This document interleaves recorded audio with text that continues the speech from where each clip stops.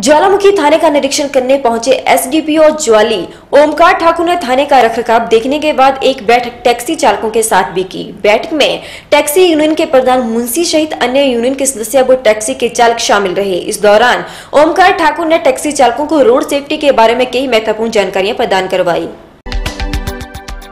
ज्वालामुखी थाने का निरीक्षण करने पहुँचे एसडीपीओ और ज्वाली ओमकार ठाकुर ने थाने का रखरखाव देखने के बाद एक बैठक टैक्सी चालकों के साथ भी की। बैठक में टैक्सी यूनियन के प्रधान मुंशी सहित अन्य यूनियन के सदस्य व टैक्सी के चालक शामिल रहे। इस दौरान ओमकार ठाकुर ने टैक्सी चालकों को रोड सेफ्टी के बारे में कई महत्वपूर्ण जानकारियाँ बताई। उन्होंने बताया कि टैक्सी चालकों को रोड सेफ्टी का पूरा ज्ञान होना चाहिए। इसके साथ ही जब किसी व्यक्ति द्वारा टैक्सियों की बुकिंग की जाती है तो उसमें उनसे कौन से महत्वपूर्ण दस्तावेज़ चेक करने चाहिए, इस बारे में भी बताया गया।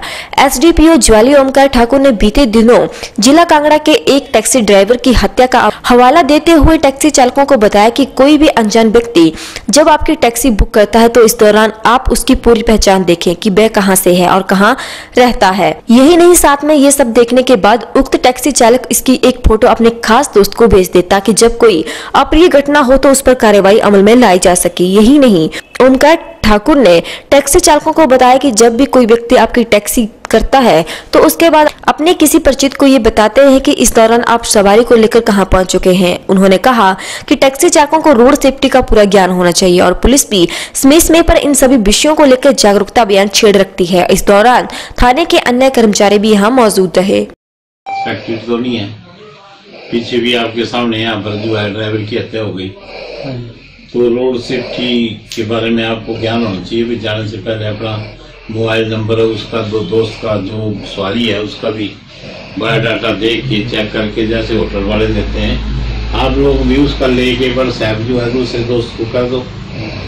ताकि रास्ते में कोई अजनबी किसी प्रकार की कोई हरकत करे तो उसका बायोडाटा तो पीछे रह जाए।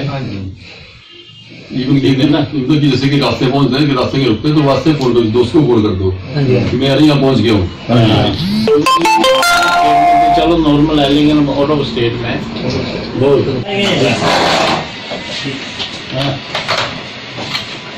ठीक है। ठीक है आपका? जी सर